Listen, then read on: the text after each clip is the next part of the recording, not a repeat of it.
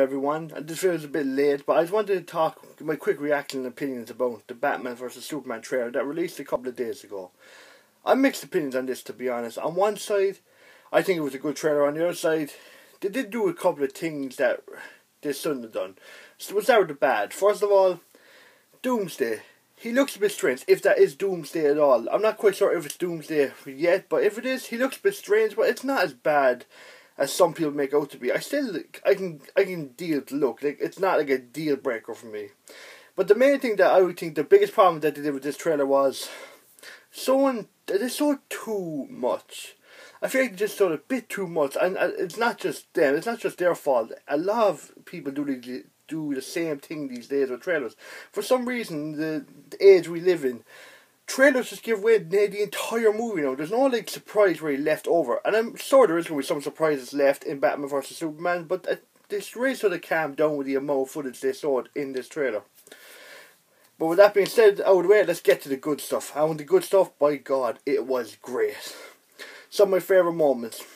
One of them was seeing Batman, Wonder Woman, and Superman all standing there together. I was like, it's so amazing that we're finally getting to see these three characters appear in a live action movie on screen. We have been waiting years upon years upon years to finally see this happen, and it is awesome that we're finally going to witness it. Another thing, I love the kind of the banter between Batman and Superman, as in their identities, Clark Kent and Bruce Wayne, where like Batman says to Bruce to Clark Kent.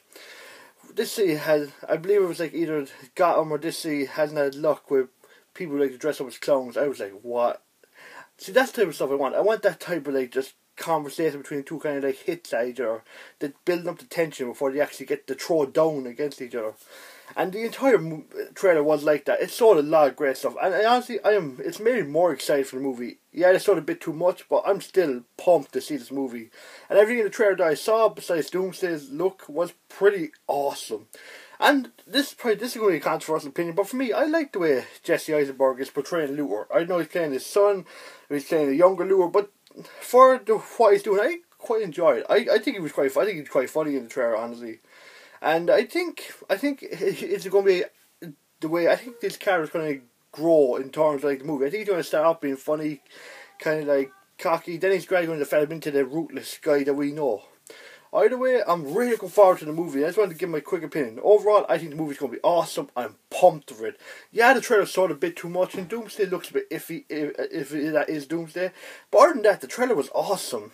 It showed that there's going to be humour in the film. It's not just going to be all doom and gloom. But of course, there's going to be your fair amount of doom and gloom. But sort of that that's what that makes the movie interesting. it's what gives it weight, and I'm really pumped up to see it. And I can't wait to see all these big icons from DC just class. That's all I wanted to say. So as always, I hope you're all pumped for the movie. And as always, if you like, comment, subscribe, and I'll see you next time.